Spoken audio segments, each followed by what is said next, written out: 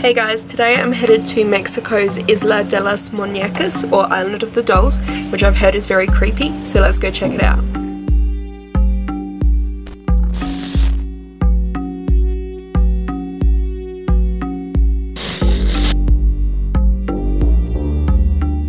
Deep in the canals of Mexico's Xochimilco lies a disturbing omen to a mysterious and tragic past. Here, a small island which can only be reached via an arduous two hour boat trip, lined with hundreds of deformed, decapitated, and sinister looking dolls, exists.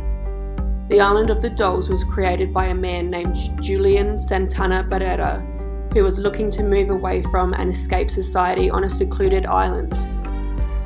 When he arrived at his new island home, he found the body of a young girl lying face down, lifeless in the water. Soon after, he found a doll floating in the same water and hung it up to a tree to show his respect for the deceased little girl. He quickly began hearing strange, unexplainable noises in the night. He feared the little girl had returned to his island to haunt him. To appease her spirit, Julian began collecting and displaying dolls around the island. He practiced this for 50 years until his death, which adds further mystery to the legend. Julian's lifeless body was discovered by his nephew face down in the water in the exact spot he had discovered the little girls all those years before. Today, many believe that Julian's spirit has returned to haunt the island of the dolls, along with many others which already existed there.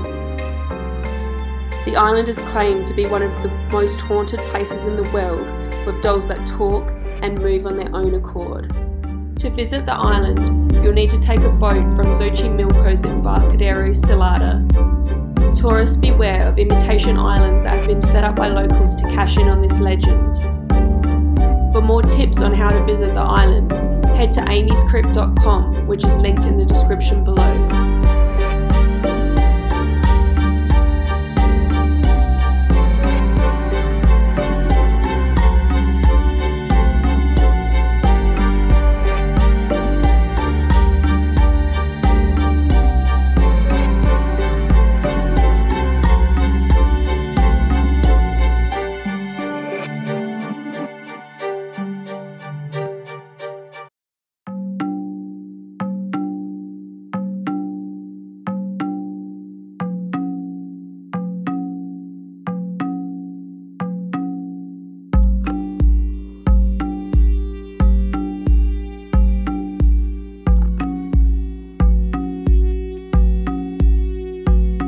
Thank you so much for watching. If you're looking for some info on how to get to the island yourself, I've linked a blog post below on amyscrypt.com.